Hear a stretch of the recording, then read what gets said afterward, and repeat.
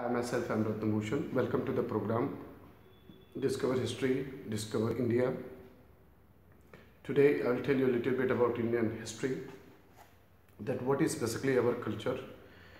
भारतीय संस्कृति विश्व की प्राचीनतम संस्कृतियों में से एक है भारत भूमि आदि मानव की प्राचीनतम कर्म भूमि रही है सिंधु घाटी सभ्यता के विवरणों से प्र, प्रमाणित होता है कि वर्तमान से लगभग तीन हज़ार वर्ष पहले उत्तरी भारत के बहुत बड़े भाग में एक उच्च कोटि की संस्कृति का विकास हो चुका था। वह हमारी हड़प्पा सभ्यता थी। हड़प्पा सभ्यता की जो टाइम पीरियड है, तेईस से लेकर के 1750 बीसी इसी प्रकार वेदों में परिलक्षित भारतीय संस्कृति न केवल प्राचीनता का प्रमाण है, अपितु वह भारतीय अध्यात्म और चिंतन की श्रेष्ठ अभिव्यक्ति है। भारतीय संस्कृति की महत्वपूर्ण विशेषता यह है कि हज़ारों वर्षों के बाद भी यह संस्कृति अपने मूल स्वरूप में जीवित है। वहीं मिस्र, मेसोपोटामिया, सीरिया, यूनान और रोम की संस्कृतियाँ अपने मूल रूप से लगभग लगभग विस्मृत हो चुकी हैं। भारत में नदियों, बरगद, पीपल जैसे वृक्षों, सूर्य तथा अन्य प्राकृतिक देवी देवताओं का पूजन का क्रम शताब्दियों से चला आ रहा है। गीता, उपनिषदों के संदेश हज़ारों सालों से हमारी प्रेरणा और कर्म के आधार रहे हैं।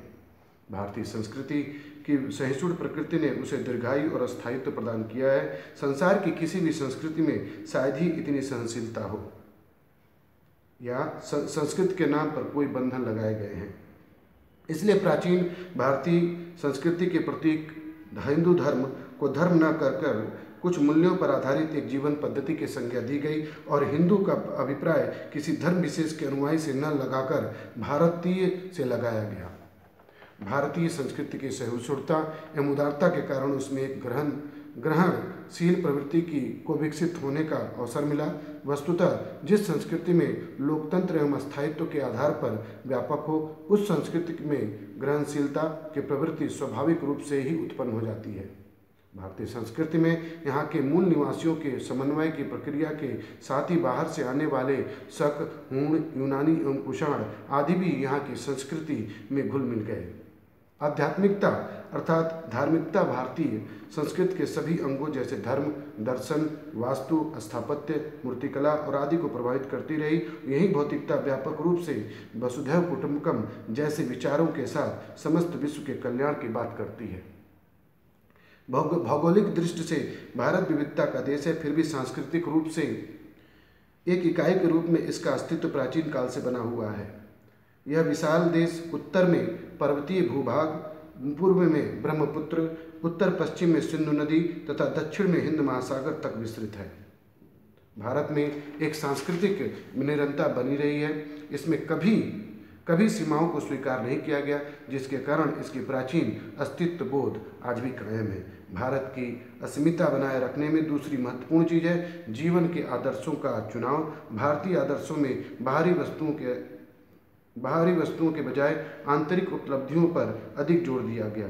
इसमें भारत के दर्शन और धर्म में संतोष, आत्मनियंत्रण, निस्वार्थ निस्वार्थ भाव, सेवा अपरिग्रह आदि, अपरिग्रह मतलब नॉट टू अक्वायर प्रॉपर्टी आदि केंद्रीय मूल्य बन गए। इसी तरह के विचार उपनिषदों, पुराणों, बौद्ध और जैन धर्म सभी धर्मों में प्रधान है। तो हमारा देश बहुत ही महान देश है।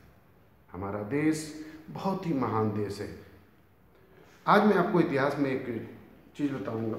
आज मैं टुडे विल टेल स्तूप क्या है। स्तूप बेसिकली स्तूप प्राचीन काल में भारतीय स्थापित का एक बहुत बड़ा नमूना होता था।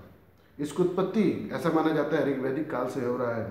और, लेकिन ये बौद्ध धर्म में आते आते बहुत ही अच्छे तरीके से परिलक्षित होने लगा। ऋग्वेद में ऐसा बताया गया कि जब कोई व्यक्ति, महान व्यक्ति मरता था, कोई बहुत इंपॉर्टेंट व्यक्ति मरता था तो उसको उसकी उस उसकी बॉडी को जलाने के बाद अस्थि कलश में रखा जाता था ऐसे इसको और उसको एक ज़मीन में गाड़ करके एक माउंड बना दिया जाता था। वो था सेमी सर्कल हो जाता था। स्तूप प्राकृतिक रूप में थूप का शाब्दिक अर्थ ढेर लगाना होता है। क्या लगाना होता है? ढेर लगाना होता है। क्या लगाना होता है? ढेर लगाना। सौ के अंतिम संस्कार से संबंध टिले जिनमें शारीरिक अवशेष सुरक्षित रखे जाते थे, चैत्य के रूप में जाने जाने लगे। कालांतर में चैत्य वो चीज़ों होता था जहाँ पे बौद्ध पूजा करते थे। चैत्य गृह क्या होता है जहाँ पे पूजा किया जाता था। ऋग्वेद में स्तूप का उल्लेख अग्नि की उठती हुई, अग्नि की उठती ज्वालाओं के रूप में हुआ है। स्पष्ट रूप से स्तूप की परंपरा बहुत काल से पहले भी थी, लेकिन जब अशोक के समय में आया तो बहुत ज़्यादा परंपरा होगी। अशोक को यह माना जाता है कि अशोक ने लगभग एटी फोर थाउज़ेंड चौरासी हज़ार स्तूपों का निर्माण कराया, जिसमें से उसमें दो स्तूप बहुत प्रमुख थे, वो था सांची का स्तूप और भरहुत का स्तूप।